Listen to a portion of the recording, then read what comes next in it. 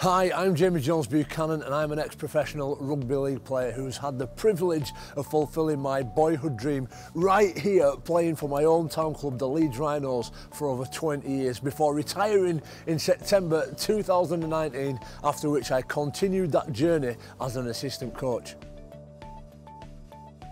My journey has allowed me to meet some wonderfully inspirational and influential people one such inspiration was a player called Ali Lauitiiti who came over from New Zealand to play for Leeds in 2004. Now, being a Christian and through his shining example and witness, Ali pointed me to Christ, and in time I came to know Jesus as my Lord and Saviour, and myself became a professing Christian. There are many themes that encompass my walk with God, but today I wanted to talk to you about silence. Venues like this at Emerald Headingley Stadium when full create lots of noise but it's when they're silent and empty like this that it gives me lots of time to reflect on the memories that I have had playing here and what those memories have taught me along the way. Now I fulfilled my boyhood dreams here at Headingley in this stadium but they never last forever. Only in Christ do I find that which lasts forever and Christ can be found during those silent times, reading scripture, when I'm invited to receive God's word, opening my heart and mind to what he has to say.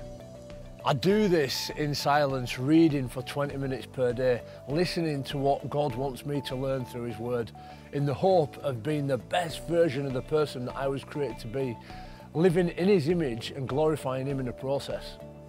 As a player, I had to be silent to receive what my coach wanted me to learn in the pursuit of being a better player. I had to be silent in listening to my teammates to understand how I could better serve them.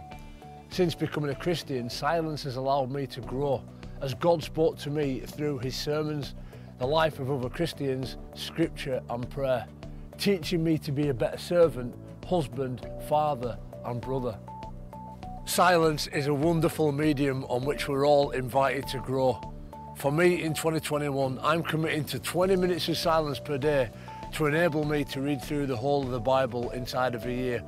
Maybe you can challenge yourself to a daily period of silence defined by you to read through a paragraph, a chapter, a book, or just reflect on what the moment has to teach you.